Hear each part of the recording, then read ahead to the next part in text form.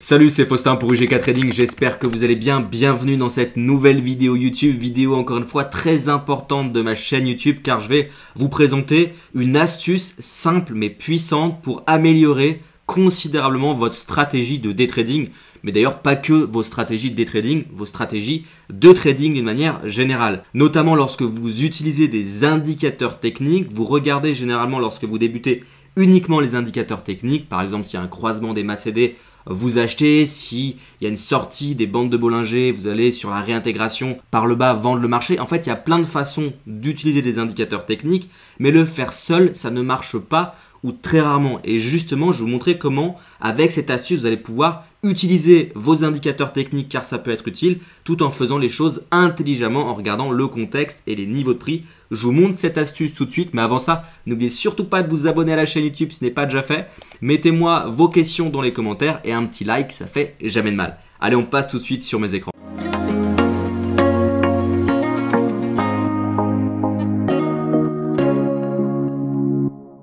Allez, on se retrouve tout de suite sur ma plateforme de trading, TradingView, avec l'XAU USD, donc le gold sur ma plateforme. Chaque bougie représente une journée de cotation, car je suis ici, vous le voyez au niveau des inté temps, sur un jour. Donc une journée de prix pour chaque bougie.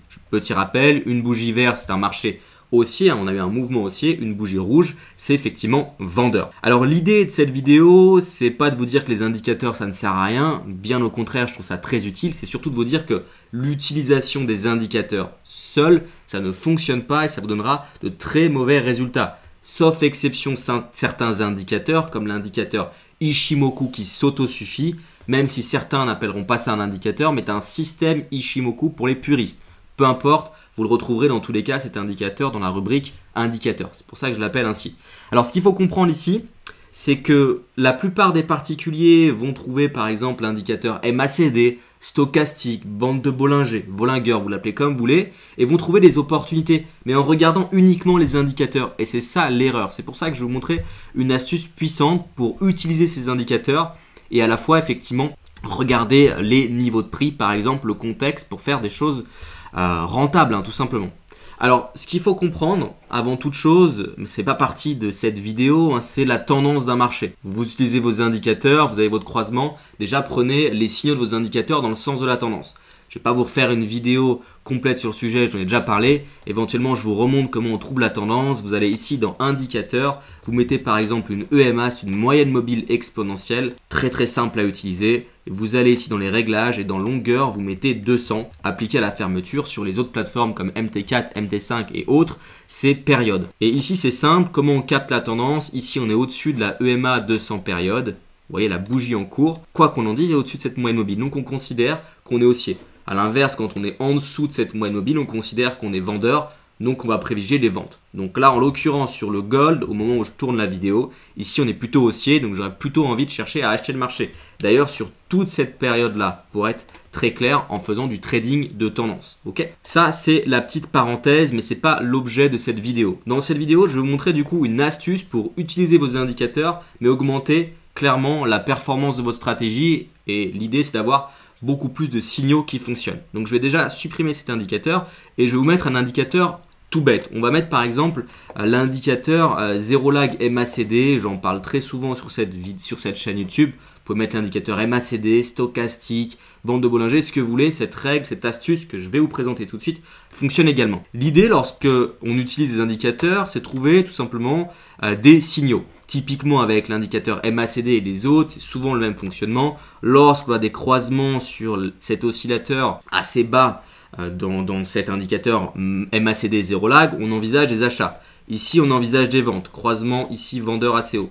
Ici, croisement vendeur ratio. D'ailleurs, on a eu un croisement aussi, mais ça n'a pas fonctionné. Le prix est parti à la hausse. Parce que si on utilise encore une fois les indicateurs seuls, ça ne fonctionne pas. Mais l'idée, c'est ça. On a des croisements ici, signal d'achat. Ici, plus ou moins signal de vente. Ça, c'est si on se base sur la pure théorie de l'indicateur, mais il faut bien sûr pousser les choses un peu plus loin. Et c'est ça la grosse erreur que vont faire les particuliers, c'est de ne pas ouvrir les yeux et de ne pas regarder les zones de prix. Et c'est ça mon astuce, c'est d'utiliser en parallèle tout simplement les signaux que vous avez avec vos indicateurs et des zones de prix très puissantes qu'on appelle zones de polarité.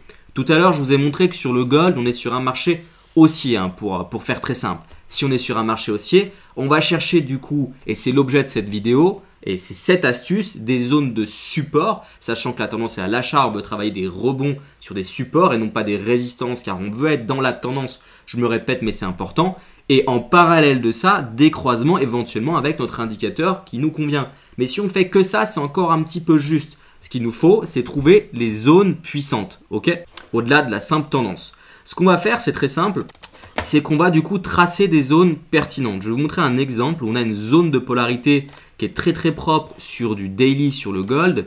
Donc on va la tracer comme ça. On voit en fait très simplement que cette zone est très puissante. Donc ça, ça nécessite un peu d'expérience et de maîtrise de l'analyse graphique. Je peux tout simplement du coup remarquer ici qu'on a un point de contact. Alors je vais mettre le trait un peu plus fin juste ici. On va se mettre ici. Voilà. On a un point de contact juste là, ok? On a un point de contact ici en tant que résistance, en tant que support, ici en tant que résistance une nouvelle fois, on break, on pull back, résistance. Et à ce niveau-là, on peut envisager du coup d'acheter parce qu'on sait qu'on est sur une tendance à la hausse sur le gold, ça vous l'avez compris, encore une fois j'ai fait plein de vidéos sur le sujet, et en parallèle de ça, on a eu un croisement juste avant avec le MACD 0 lag sur une zone puissante. Et c'est pour ça que là, vous pouvez envisager d'utiliser votre indicateur pour valider, pourquoi pas, un rebond sur ce niveau. Il y a plein de façons de le faire.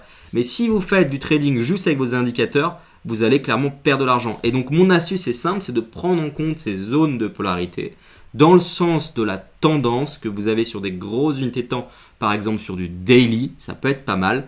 Et derrière, vous allez faire des choses intéressantes. Mais au-delà de ça, même si vous ne prenez pas en compte la tendance, le simple fait d'utiliser vos indicateurs techniques avec tout simplement l'utilisation de niveaux de prix pertinents, ça peut être assez intéressant. Donc je ne sais pas ce que je peux vous montrer comme exemple. Euh, par exemple, si on va aller juste, euh, juste, je vais juste essayer de dézoomer un petit peu le graphique. Si je me décale un petit peu sur ces niveaux-là, ici c'est très intéressant. Je ne sais pas si vous le voyez.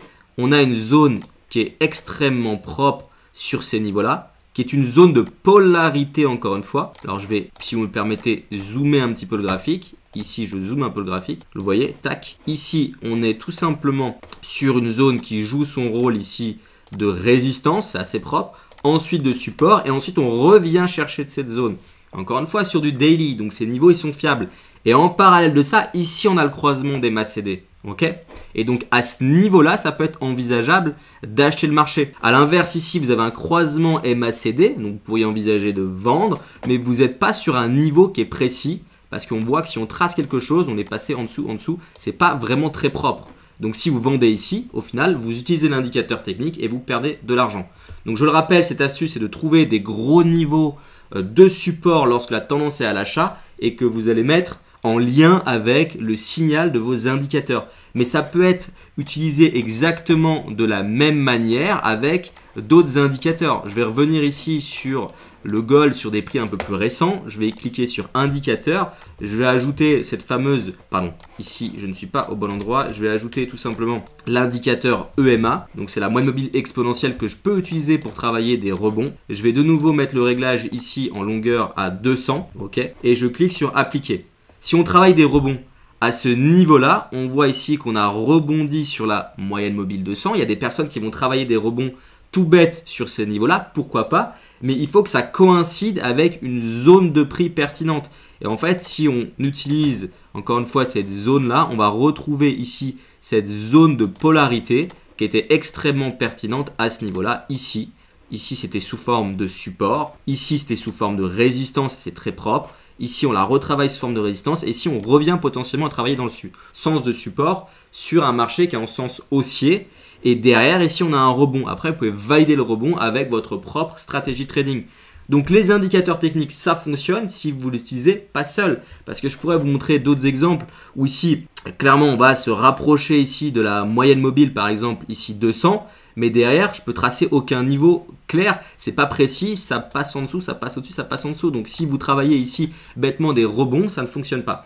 Voilà, donc soyez très vigilants par rapport à ça, mais c'est cette astuce-là, je voulais vous faire cette vidéo impérativement, parce que la plupart des gens vont simplement regarder leurs indicateurs, mettre des bouts de code qui, euh, qui traitent automatiquement, mais ça ne fonctionne pas. On est obligé de regarder les niveaux de prix, c'est la clé peu importe les indicateurs techniques. Voilà, cette vidéo maintenant terminée. Merci beaucoup de l'avoir regardé jusqu'au bout. J'espère que ça vous a aidé. Surtout si vous avez des questions, n'hésitez pas à les mettre dans les commentaires. Je prends le temps de les lire. Et également pour ceux qui souhaitent rejoindre UGK Trading et la formation de Daytrader Pro, vous avez les liens dans la description. C'est l'accès à un espace e-learning et ma stratégie trading que j'utilise depuis plus de 10 ans. Donc une formation d'une certaine manière. L'accès au groupe Discord, nos outils de trading et surtout les coachings de groupe tous les mois et le coaching individuel. Vous avez des liens gratuits et des liens payants en accès immédiat. À vous de voir, je vous laisse regarder tout ça et surtout, soyez très prudents sur les marchés financiers. A plus tard.